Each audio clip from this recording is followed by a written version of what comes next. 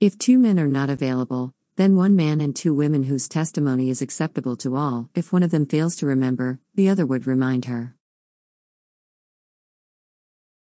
Witnesses must not refuse when called upon.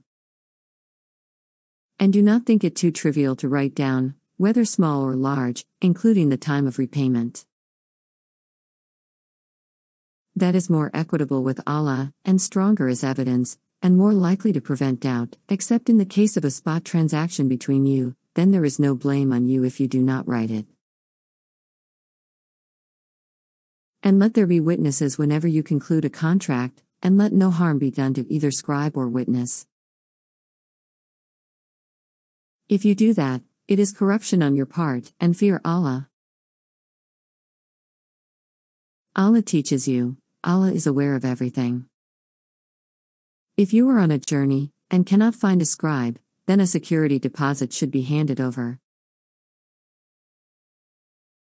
But if you trust one another, let the trustee fulfill his trust, and let him fear Allah, his Lord, and do not conceal testimony. Whoever conceals it is sinner at heart, Allah is aware of what you do. To Allah belongs everything in the heavens and the earth, whether you reveal what is within yourselves or conceal it, Allah will call you to account for it. He forgives whom He wills, and He punishes whom He wills. Allah is able to do all things.